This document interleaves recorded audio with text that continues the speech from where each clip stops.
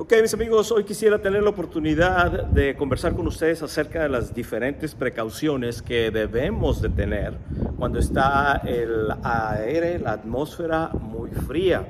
Estamos en tiempo de invierno y eh, cuando la temperatura cae muy por debajo de lo normal, tenemos que tener una serie de precauciones para no lastimar, en este caso, el motor del avión. Típicamente yo uso dos temperaturas para tomar esas precauciones. La primera temperatura es cuando el aire, la atmósfera baja abajo de 60 grados Fahrenheit, que son un promedio como de 15 grados. Tengo que tener ciertas precauciones para encender el motor de la aeronave y abajo de 40 grados, que es la segunda referencia que yo uso, 40 grados Fahrenheit, son como 4 o 5 grados Celsius, tenemos otra serie de precauciones que debemos de tener para no dañar o lastimar el motor del avión. Dos causas pueden suceder primordialmente. Dos cosas, dos problemas pueden suceder. Una, que al estar el aceite muy denso por lo frío de la atmósfera, este no circule bien en el motor del avión y podamos dañarlo. Y la otra es que al estar muy denso el aire se necesita más gasolina para poder encender el motor del avión, pero si no tenemos problemas vamos a ahogar el motor del avión. A veces vas a ver hasta cómo se tira el, combustible por debajo del motor del avión y se han dado muchos conatos de incendio. El avión ha prendido en fuego por el exceso de combustible. Entonces son las dos cosas que quiero que veamos rápidamente. Empecemos con la primera.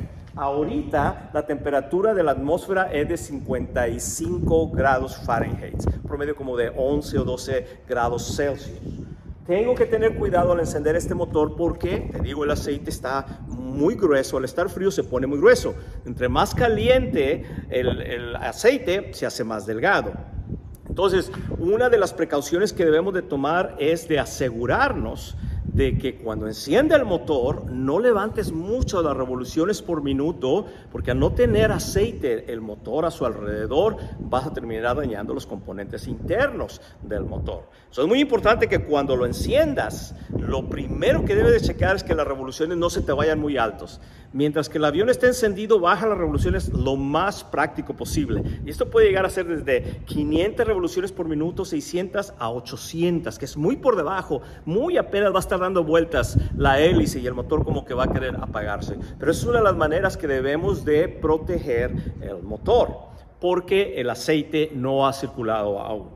Y hablando de circulación de aceite, en este tipo de condiciones, abajo de, de 60 grados Fahrenheit o 15 grados Celsius, me gusta, antes de encender el motor, darle vueltas a la hélice para que de una forma manual, al dar vueltas a la hélice, la bomba mecánica interna del motor lubrique, me ayude a lubricar un poco el motor. Tienes que tener cuidado de que las llaves estén encima del panel, lo estoy viendo aquí físicamente, visualmente, y tienes que tener cuidado que el máster esté apagado. Las dos cosas ya las chequé. El máster está apagado, las llaves están encima, so no hay ah, la posibilidad de que alguien lo encienda mientras que yo estoy aquí. Obviamente ahorita no hay nadie allá, pero somos criaturas de hábito y tenemos que desarrollar hábito de hacerlo de una manera segura. Y aún así voy a tratar la hélice como si pudiese prender, porque si no están bien grounded los magnetos, si no están bien aterrizados los magnetos, puede encender.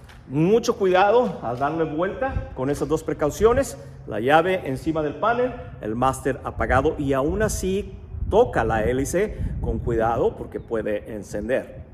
Y la última precaución que debe tener es tengas cuidado al darle la vuelta porque hay veces que se regresa y puede golpearte el codo. So, yo lo hago de esta manera. Ah, ¿Cuántas veces tienes que darle vuelta? Pues, uno dicen que 6, 8, 10 veces la, realidad atrás es que tú lo vas a sentir. Cuando vayas dándole vuelta, vas a sentir cómo se afloja más la, la, hélice. Te puedo decir que ahorita lo siento pesado.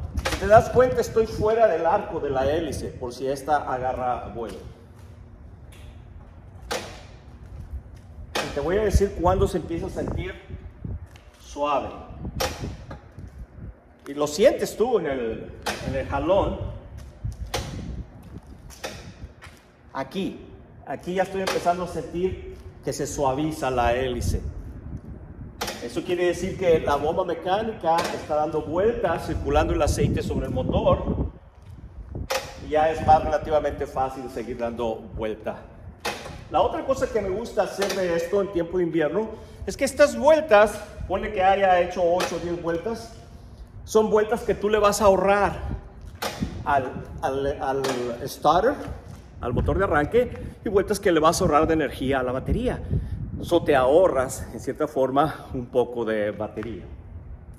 Ahora, ahorita voy a sacar el motor, el, avión hacia afuera y lo voy a poder encender con confianza de que va a encender. Solamente debo tener la precaución de que cuando encienda pueda yo mantener las revoluciones por minuto bajas. Entonces es la primera cosa que debes de tener cuidado con la temperatura abajo de, 60 ah, grados Fahrenheit, es que me confundo entre Fahrenheit y Celsius. 60 grados Fahrenheit abajo y o que serían 15 grados Celsius aproximadamente.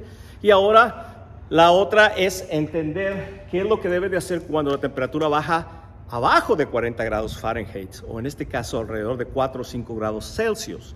Ahí hay varias cosas que podemos hacer. Una de ellas, existen ciertos calentadores para ponerle al motor y calentar el motor y mantener así caliente el, aceite. De hecho, hay algunos motores de los aviones, generalmente en el norte de Estados Unidos, donde hace mucho frío, mucha nieve, mucho hielo, es un, un, conector que es un coil eléctrico, es un cable eléctrico especial que está en, la, en el contenedor de aceites y hace que el aceite se mantenga caliente. Simplemente lo conectas a la terminal ah, correspondiente de, de electricidad. En este área del Valle de Texas generalmente no hace mucho frío, la mayor parte de los aviones no lo tienen. Pero puedes darte cuenta porque al abrir la puertita para checar el aceite, ahí puedes ver la conexión. Sería ideal que tu avión lo tuviera y lo conectara de esa manera, el aceite va a estar caliente, va a estar delgado, va a poder circular mejor sobre los componentes del motor. Esa es una forma de hacerlo. La otra es simplemente mantenerlo en el hangar. El solo hecho de mantenerlo dentro del hangar ya hace que la temperatura no se, enfríe tanto como si estuviera eh, fuera. Y en el norte, cuando yo trabajaba en el norte con, con, hielo y nieve, que se ponía muy frío el avión, tenías que deshielar el avión, las alas.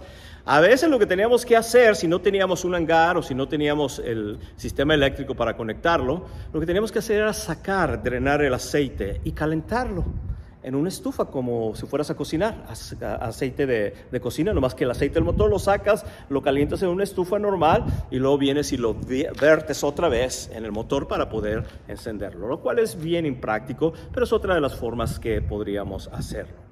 Y de ahí vamos a pasar al segundo problema que se podría dar si está haciendo mucho frío. Recuerda, cuando hace mucho frío el aire es más denso, so necesitas más gasolina para encender el motor del avión. Si tu avión tiene primer, en este caso carburador, cualquiera de las dos formas que uses para darle primer, para inyectar combustible al, al motor del avión, te vas a dar cuenta que vas a requerir más combustible del normal, porque el aire es más grueso. Pero vas a correr el riesgo de ahogar el motor. Hace dos días estuvimos con la temperatura a cero, a menos 2 grados, menos, menos 2, menos 3 grados Celsius aquí en el Valle de Texas, que es, que es eh, impensable para nosotros que estamos aquí en el Valle de Texas.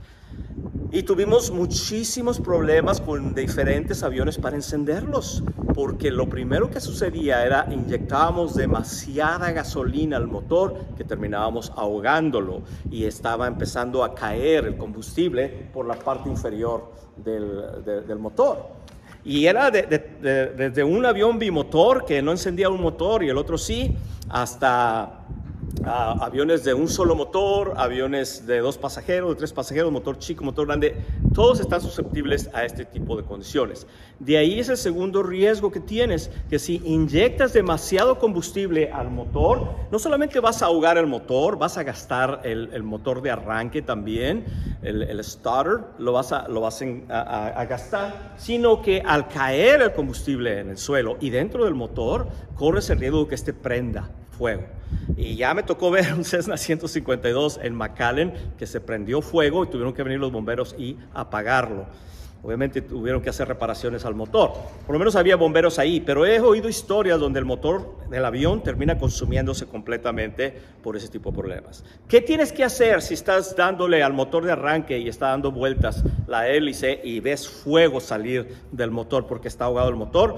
La mejor idea es continúa con el motor de arranque puesto, que la hélice siga dando vueltas para que si es, si es avión de carburador, el mismo carburador absorba o succione las flamas hacia adentro del motor.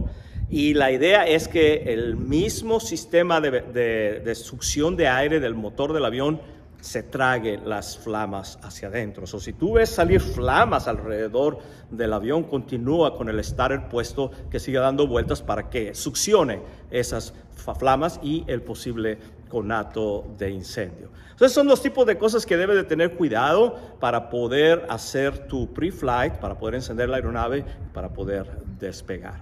En otro video voy a hablar acerca de los cuidados que debes de tener para no volar en condiciones visuales que vayas a tener el, el problema de hielo en la aeronave, lo cual puede ser peligroso también.